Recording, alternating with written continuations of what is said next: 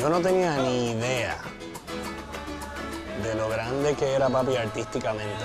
E introdujo eh, géneros eh, suramericanos adaptados a letras puertorriqueñas. Se cuidó de utilizar los poemas de Luis Llorén Torres, musicalizar cosas de Tite Cure Alonso. O sea, él hizo un trabajo serio. Nos hizo mirarnos como puertorriqueños. Canción de los carreteros, se escucha en la